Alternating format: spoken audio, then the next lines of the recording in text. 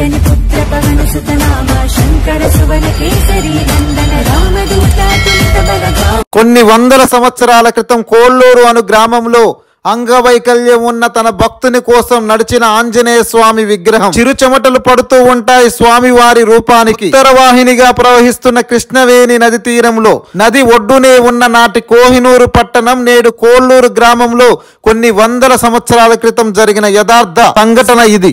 తన పనులు తానే స్వయంగా చేసుకోలేని అంగవైకల్యం ఉన్న వ్యక్తి ఆంజనేయ స్వామి విగ్రహం ఎలా తయారు చేశాడు? ఆ స్వామివారి విగ్రహం కృష్ణానదిలో స్నానం చేసేందుకు ఎందుకు అడుగులు వేసింది? ఇవన్నీ తెలుసుకోవాలంటే ఈ దేవాలయాన్ని దర్శించాల్సిందే. వికలాంగుడు ఎటువంటి వాడయ్యా అంటే కళ్ళు మూసుకొని కూర్చుంటేనే స్వామి కనిపించేవాడట. ఆయన ఈయన మాట్లాడుకునేవాడు. భూమి మీద ఇంత శక్తివంతమైన ఆంజనేయ స్వామి నడిచి వచ్చి విగ్రహ రూపంలో కొలువయున్న ఈ ఆలయం గురించి చాలా మందికి తెలియదు. సాక్షాత్తు భక్తుని కోసం నడిచిన ఆంజనేయ స్వామి బజరంగ బలి రూపాన్ని ఈ రోజు మనం దర్శించుకోబోతున్నాం.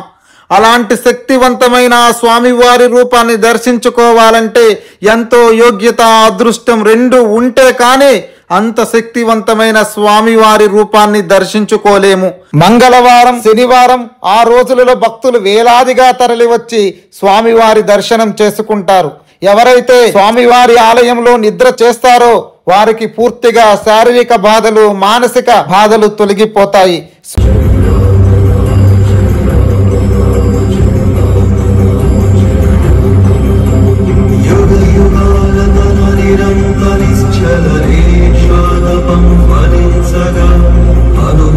பிரமணி சாகர கர்ப்பம்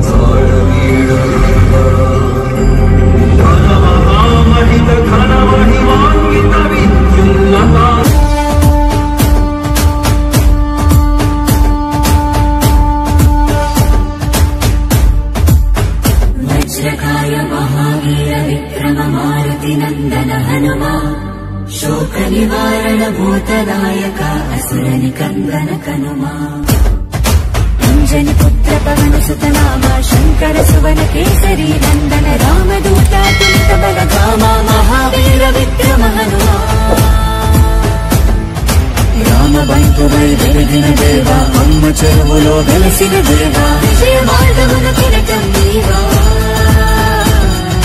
అంజని పుత్ర పవన సుత నామ శంకర సువన కేసరి నందన రామదూత తులిత బలధామ మహావీర విక్రమ హనుమా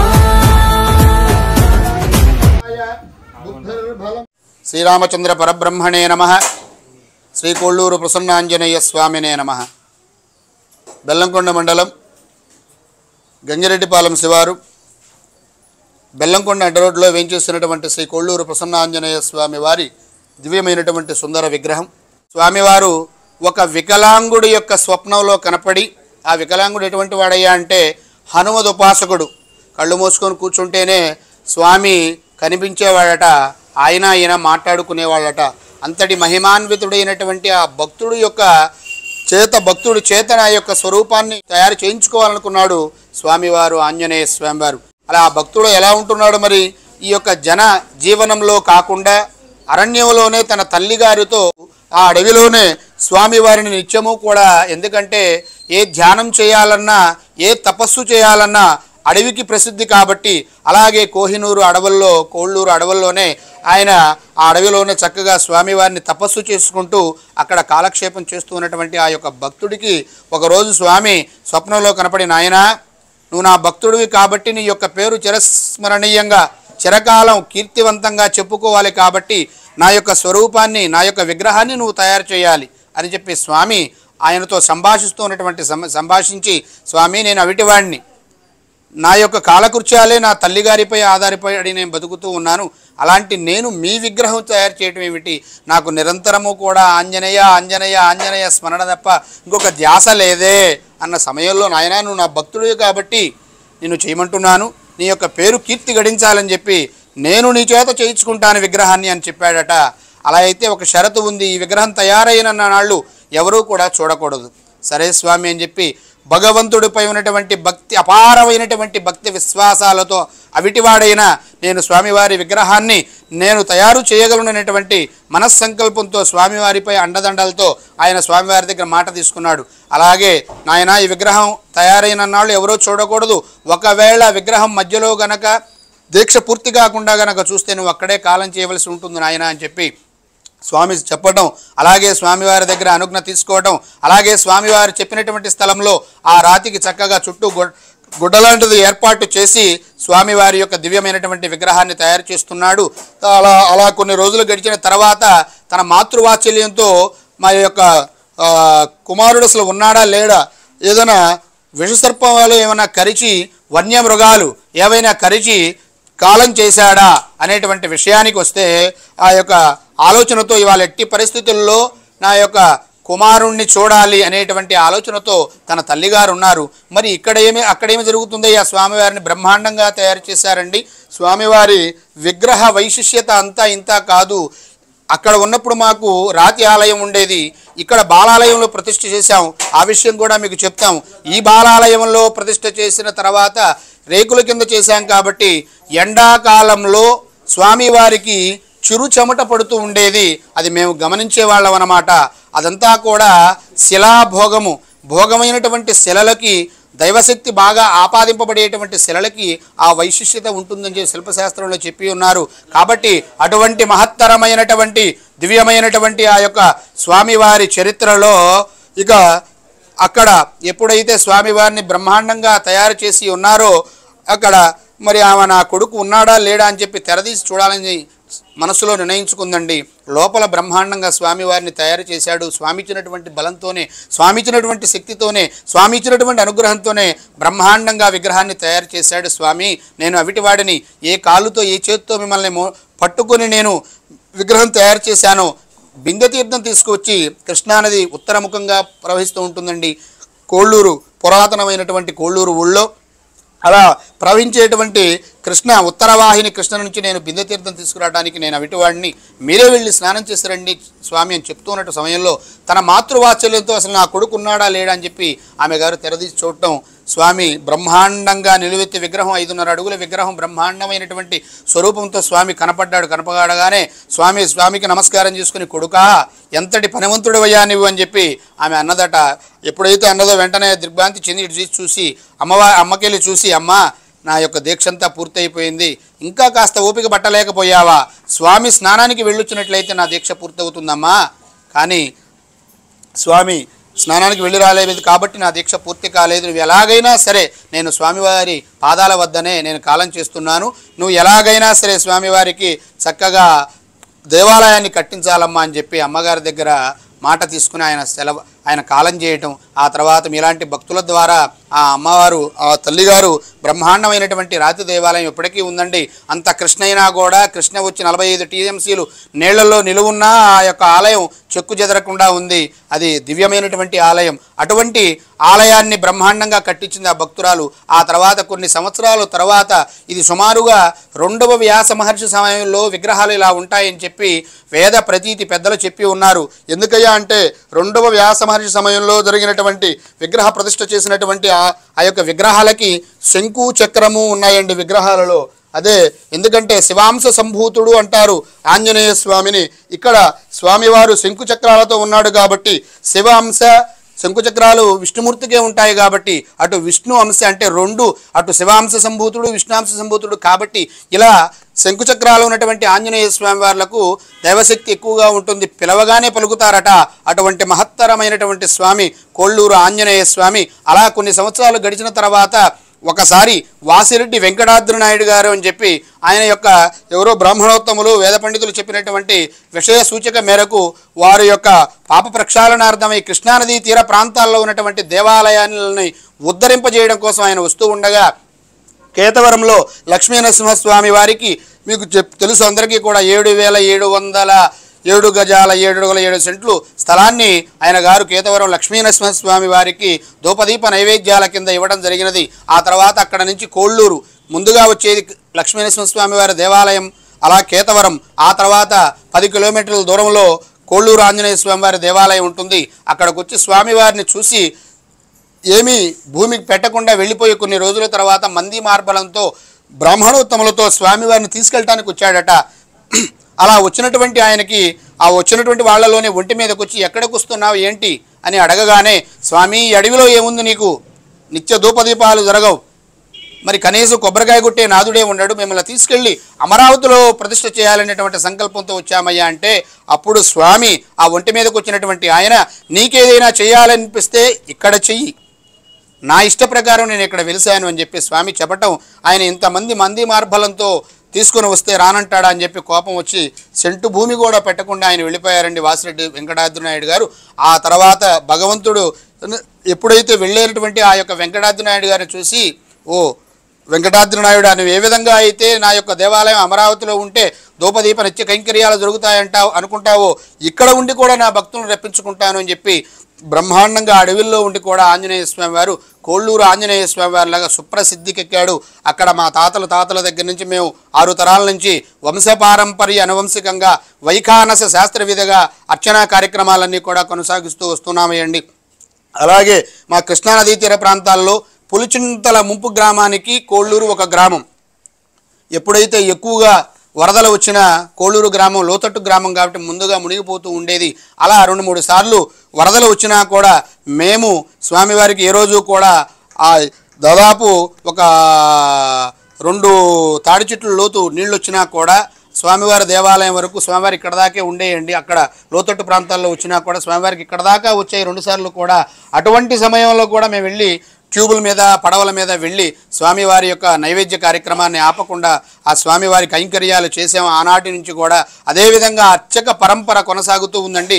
అలా జరుగుతూ ఉన్నటువంటి సమయంలో పులిచింతలు ప్రా ప్రాజెక్టుకి ముంపుకు గురవుతున్నటువంటి సమయంలో స్వామివారిని ఇలా ఉంచితే నీళ్ళలోనే ఉంటాడు. ఇటువంటి సుప్రసిద్ధికి ఎక్కినటువంటి స్వామిని ఇక్కడ ఉంచడం ప్రజలందరికీ భక్తులందరికీ కూడా అది ఎటువంటి ఇది లేక ఇబ్బందికరమైనటువంటి పరిస్థితుల్లో స్వామివారిని ఎట్లాగైనా తీసుకువచ్చి అర్చక బృందం కావచ్చండి మా అర్చక పరంపర కావచ్చండి మా యొక్క గ్రామాల ప్రజలు కావచ్చండి అందరూ కూడా ఆనాడు రెండు వేల పద్నాలుగవ సంవత్సరంలో స్వామివారిని అక్కడి నుంచి తీసుకురావడానికి చాలా వ్యయప్రయాసాలతో ఇక్కడికి తీసుకుని వచ్చాము. అప్పుడు ఉన్నటువంటి కమిటీ కార్యకర్తల కమిటీ వారి సహాయ గ్రామస్తుల సహాయ సహకారాలతో తీసుకువచ్చి ఇక్కడ రెండు వేల పద్నాలుగులో బాలాలయంలో ప్రతిష్ఠ చేశాము. ఆనాటి నుంచి బ్రహ్మాండంగా అసలు స్వామివారి దగ్గరకు వచ్చి నిద్ర చేస్తే సంతానం లేనటువంటి వారికి తప్పనిసరిగా సంతానం కలుగుతుంది. మా గ్రామాలలో ఉన్నటువంటి మీ ఎవరిని కదిలించినా వాళ్ళందరూ హనుమంతరావు చిన్న హనుమంతరావు పెద్ద హనుమంతరావు రామాంజనేయులు ఆంజనేయులు చిన్నాంజనేయులు పవన కుమారు ఈ విధంగా పేర్లన్నీ ఉంటాయండి. మా యొక్క కోళ్ళూరు ఆ బోధనము చిట్యాల ఆ యొక్క గ్రామాలలో ఉన్నటువంటి నిర్వాసితులు ఎవరినైనా సరే పేరు ఎక్కువగా ఈ పేర్లే ఉంటాయి. అలా ఆంజనేయ స్వామి వారు సుప్రసిద్ధికి ఎక్కారు. అలా రెండు వేల పద్నాలుగులో తీసుకొచ్చి మేము బాలాలయంలో ప్రదర్శన చేశాం. అక్కడి నుంచి మరలా ఆలయ శోభ స్వామివారి యొక్క కీర్తి మరలా రావడానికి చాలా వ్యయ ప్రయాసలు పడ్డాం. అలాగే భగవంతుణ్ణి ఆ విధంగా ఆరాధించుకుంటూ బ్రహ్మాండంగా నిత్య ధూపదీప కైంక్రియాలు చేసుకుంటూ ఇంకా విశేషం ఏంటయ్యా అంటే నూతన వాహనం కొన్నవారు తప్పనిసరిగా స్వామివారి దగ్గర పూజ చేయిస్తే వారికి ఎటువంటి పరిస్థితుల్లో ఎటువంటి ఇబ్బందికరమైనటువంటి యాత్రలో ఎటువంటి సమస్యలు? అందుకనే యాత్ర కాలే విశేషత అంటారు ఆంజనేయ స్వామిని. జెండాపై కపిరాజు అంటే మనకి తెలుసు. ఆ యొక్క అర్జునుడి యొక్క జెండా మీద ఉన్నటువంటి ఆంజనేయ స్వామి ఎలా రక్షిస్తాడో. ఇక్కడ ప్రసన్నాంజనేయ స్వామి వారి కొల్లూరు ప్రసన్నాంజనేయ స్వామి వారి దేవాలయంలో వాహన పూజ చేస్తే స్వామి కూడా అదే విధంగా రక్షిస్తాడని చెప్పి ఈ ప్రాంతీయ వాసుల యొక్క నమ్మకం. అలాగనే కొత్త బండి తెచ్చిన వాళ్ళు తప్పనిసరిగా పూజ చేసుకుని వెళతారు. అలా కాకుండా పాత బండ్లైన ప్రతి వారం వచ్చి పూజ చేసుకుని వెళతారు. అలాగే సంతానం లేనటువంటి వారు ఇక్కడికి వచ్చి ప్రతి శనివారం కూడా ఐదు శనివారాలు వచ్చి స్వామివారి చుట్టూ ప్రదక్షిణం చేసి ఐదు శనివారాలు నిద్ర చేసినట్లయితే తప్పని సరిగా సంతానం. అలాగే స్వామివారి దగ్గర సంతానం పొందినటువంటి వాళ్ళు చాలామంది ఉన్నారు. ట్విన్స్ పిల్లలు కూడా ఉన్నారండి. అంటే కమల పిల్లలు కూడా ఇద్దరు ముగ్గురు ఉన్నారు.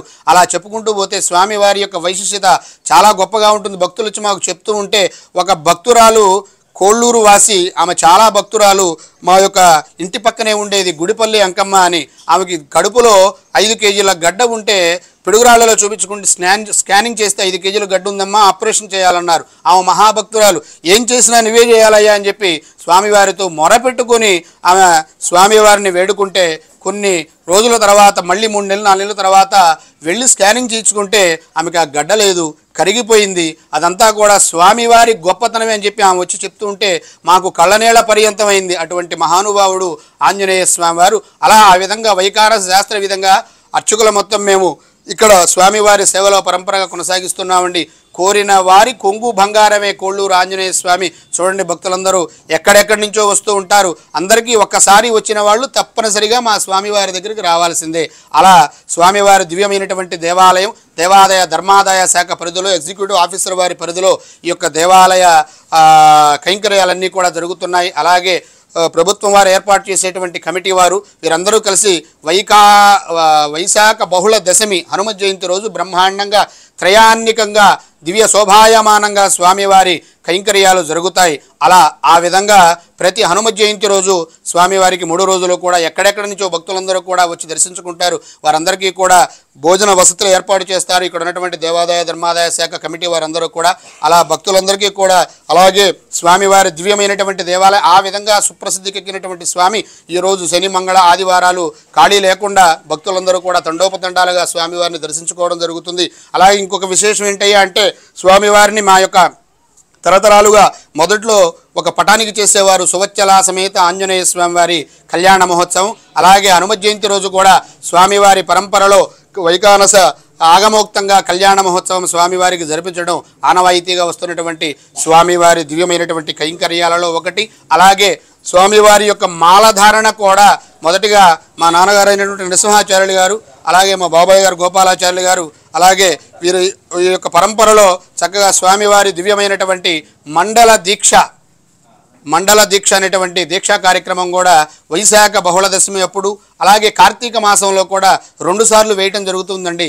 ఆ యొక్క దీక్ష కూడా సుమారు రెండు వందల మంది చక్కగా దీక్ష తీసుకోవటం భక్తులందరూ కూడా స్వామిని ఆ విధంగా స్వామి సేవలో పుణ్యతులై స్వామివారి దివ్యమైనటువంటి అనుగ్రహాన్ని పొందుతూ ఉన్నారు. అలాగే ఈ బాలాలయం నుంచి నూతన దేవాలయానికి స్వామివారిని శంకుస్థాపన ఈ మధ్యకాలంలోనే చేశాం.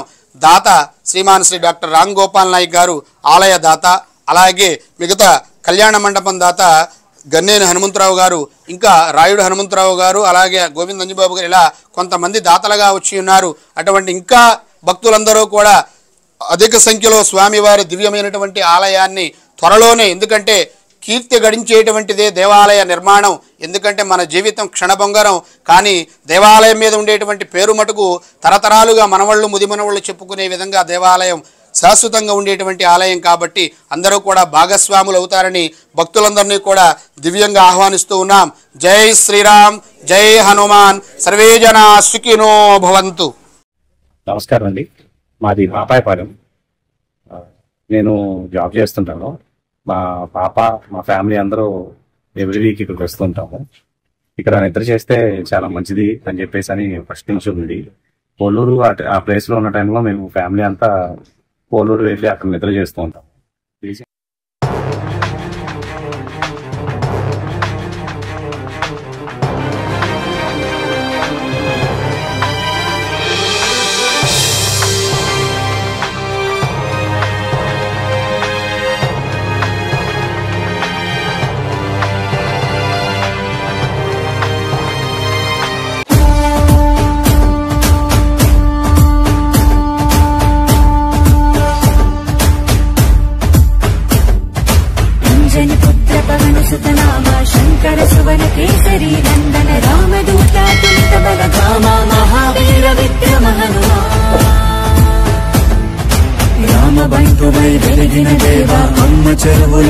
చెరువులో వెలసిన దేవ విజయ మార్గమున కిరటం నీవా అంజని పుత్ర పవన సుత నామ శంకర సువన కేసరి నందన రామదూత తులిత బలధామ మహావీర విక్రమ హనుమా వజ్రకాయ మహావీర విక్రమ మారుతి నందన హనుమా శోక నివారణ భూతనాయక అసుర